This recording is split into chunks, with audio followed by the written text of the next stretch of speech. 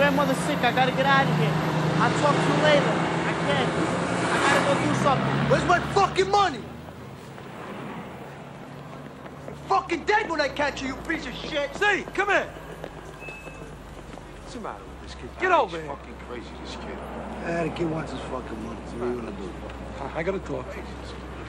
You gotta stop babying him. He owes me money. Hit him with a fucking bat. I come all over the fucking block. What are you kidding me? Is that the advice you give the the kid? out. Is that the advice you fucking hoodlums? Stop Stop, it. baby. Come on, let's go in. I'm treating him like a Don't listen to these hoodlums.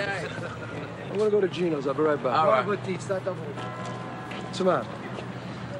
This guy Louis Dumps over here, you know, he owes me $20. It's been two weeks now, and every time he sees me, he keeps dodging me. Yeah. He's becoming a real pain in the ass. I mean, should I crack him one or what? What's the matter with you? What have I been telling you? Sometimes hurting somebody ain't the answer. First of all, is he a good friend of yours? Nah, I don't even like him. You don't even like him. Well, there's your answer right there. Look at it this way. It costs you $20 to get rid of him. Right? He's never gonna bother you again. He's never gonna ask you for money again. He's out of your life for $20. You got off cheap. Forget it. You're always right. You're always right. Yeah, I'm always right. If I was always right, I wouldn't have done 10 years in the joint. What did you do every day? There's only three things you can do in the joint, kid. Lift weights, play cards, and get into trouble. What did you do? Me? I read.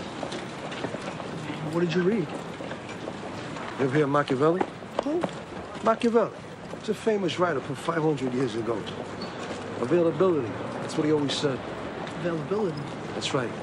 Listen to me. I can live anywhere I want to. You know why I live in this neighborhood?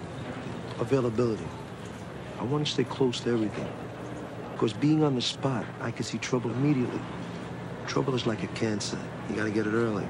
If you don't get it early, it gets too big, then it kills you. That's why you gotta cut it out.